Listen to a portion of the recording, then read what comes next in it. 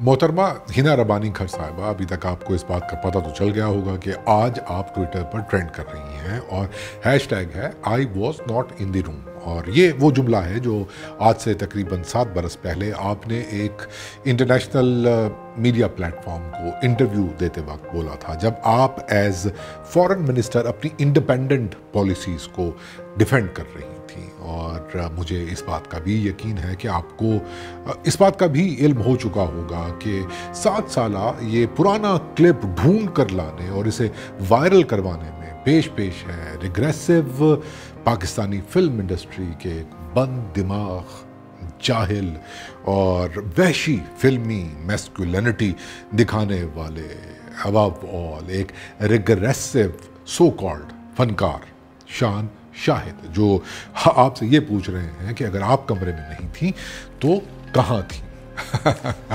खुदा की शान है और मुझे इस बात का भी अंदाज़ा है कि ये शान की ट्वीट पढ़ने के बाद आपके जहन में भी फौरी तौर पे यही ख्याल आया होगा कि मीना मलिक के बाद अब शान शाहिद का ट्विटर हैंडल भी मतलब कि यू टू ब्रूटस लेकिन खैर, मज़ाक बरतरफ और हमें शान वान जैसे एंटी नेटिव एक्टर्स की बातों को सीरियसली नहीं लेना चाहिए, इन्हें मिस कराएँ। लेकिन इंपॉर्टेंट बात यह है कि आपके इसी क्लिप को बुनियाद बनाकर पीटीआई के फैशिस्ट और प्रोपागेंडा सेल्स सोशल मीडिया पर ये इंप्रेशन क्रिएट करने की कोशिश कर रहे हैं कि उस वक्त की पाकिस्तान पीपल्स पार्टी की हुकूमत के पास उनके अजीम लीडर आमिरान खान की तरह ना तो गैरत थी और ना ही हिम्मत थी कि वो अमरीकनों की आँखों में आँखें डालकर एब्सोल्युटली नॉट कह सके। जी, ये इंप्रेशन क्रिएट करने की कोशिश की जा रही है आपके उस क्लिप को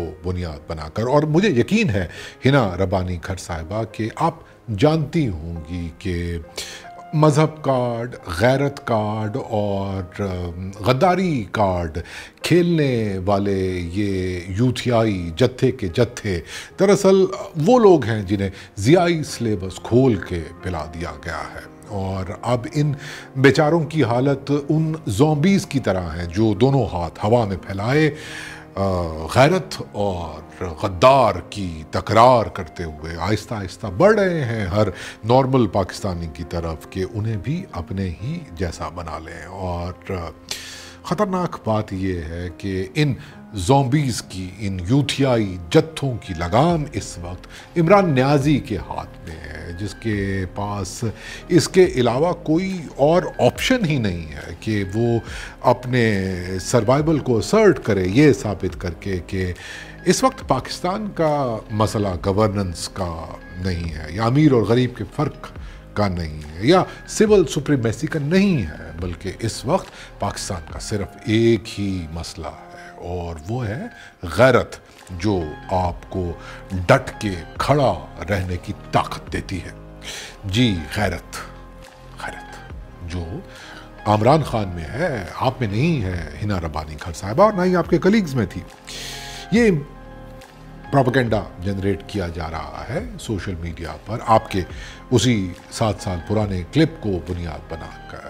और, मुझे अंदाज़ा है हिना रबानी खर साहबा कि आपके लिए कितनी एम्बेरसिंग सिचुएशन बन जाती होगी जब एज फॉरेन मिनिस्टर आपको परवेज़ मुशर्रफ जैसे आमिर की पॉलिसियों को डिफेंड करना पड़ता है इंटरनेशनल मीडिया पर। ये झूठ बोलना पड़ता है इंटरनेशनल मीडिया पर कि पाकिस्तान की फॉरेन पॉलिसी आज़ाद है और ये कि हमारा अफ़गानिस्तान से कुछ लेना देना नहीं। या फिर ये कि पाकिस्तान दहशत गर्दी के ख़िलाफ़ जंग में बिल्कुल संजीदा है और हम अमेरिका, शमरीका के साथ बिल्कुल बराबरी के लेवल पर कन्वर्सेट करना चाहते हैं।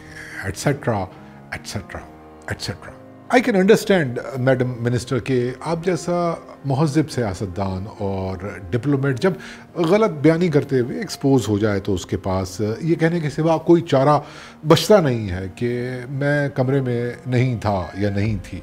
ज़ाहिर सी बात है, आप शाह महमूद कुरैशी की तरह मुनाफिक और झूठे तो हो नहीं सकते, जो इंटरनेशनल मीडिया पर बैठकर खसियानी, हँसी फेक करते हुए लेट इट पास कह दें या डीप पॉकेट्स कह दें और फिर वापस आकर अपने ही हक में फातह फ़लस्तीन के बैनर्स लगवाएँ सड़कों पर, ख़ुद पर फूलों के डोंगरे बरसवाएँ। ऑब्वियसली इतना तो कोई भी नहीं गिर सकता। मैं समझता हूँ कि आप इमरान खान भी नहीं हैं जिन्हें तालिबान का स्पोक्स पर्सन कहना चाहिए। तालिबान का वज़ीर ख़ारजा कहना चाहिए, जो इतना ढीठ है कि वो असम्बली में खड़े होकर उसामा बिन लादन को शहीद बोल देता है। आप लोग ऐसा नहीं कर सकते। आप लोगों की बड़ी मजबूरियाँ हैं, बड़ी कॉम्प्लिकेशंस हैं, बड़े मसाइल हैं। मैं समझता हूँ हिना रबानी खर साहबा की बड़ी मजबूरियाँ हैं आप लोगों की।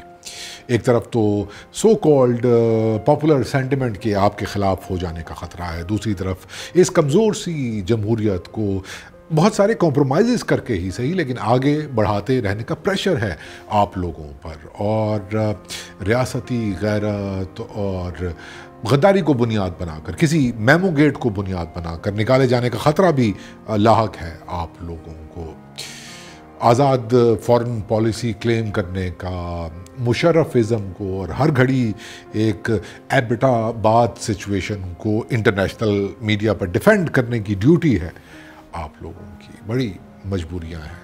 मैं समझता हूँ, हिना रबानी खर साहिबा, आप लोगों की मजबूरियों को, लेकिन मैं फिर भी अर्ज़ करना चाहता हूँ, आप खुद ही देख लीजिए कि जनरल ज़ियाउल हक के दौर में पाकिस्तान पीपल्स पार्टी के ख़िलाफ़ खेला जाने वाला गद्दारी कार्ड, गैरत कार्ड या तोहन कार्ड अब पहले से कहीं ज़्यादा ख़तरनाक हो गया है और हिना रबानी खर साहबा, अगर आप जैसे जहीन और बहादुर सियासतदान इस सो कॉल्ड पॉपुलर सेंटिमेंट से डर के या किसी मेमोगेट को बुनियाद बनाकर निकाले जाने के खौफ से उठकर उस कमरे से बाहर चले जाएँगे तो मामला और ज़्यादा बिगड़ जाएँगे। जी हिना रबानी खर साहबा, इसीलिए मैं उम्मीद करता हूँ कि अब आप लोग इस नाम नहाद गैरत की पिच पर नहीं खेलेंगे। आप गद्दारी के क्राउड के सामने नहीं खेलेंगे। आप लोग सामने आएँगे और कह देंगे कि गैरत का बयानिया झूठा बयानिया है।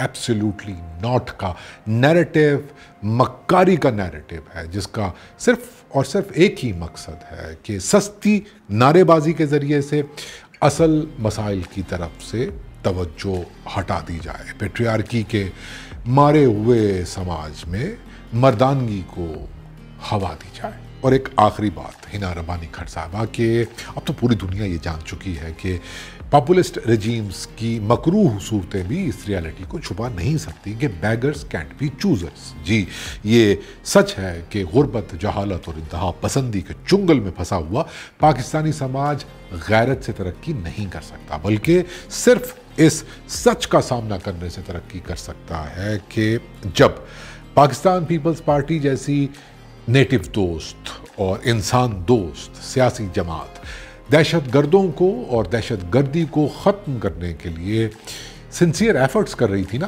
तो हम सब भी उसी कमरे में मौजूद थे। आप भी उसी कमरे में मौजूद थी। जी you were there in the room